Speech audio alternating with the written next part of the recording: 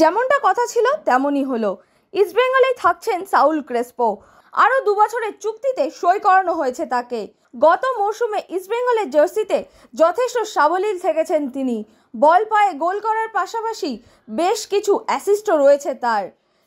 কিন্তু নতুন মরশুমে আদৌ তাকে পাওয়া যাবে কি না, সেই নিয়ে দেখা দিয়েছিল ধোঁয়াশা। কারণ আইএসএলের শেষ দিকে চোট পেয়েছিলেন তিনি।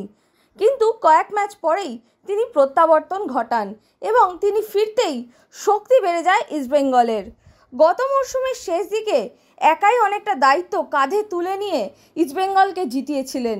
কোচ কার্লেস কোয়াদ্রাতের খুবই পছন্দের খেলোয়াড় সাউল ক্রেসপো।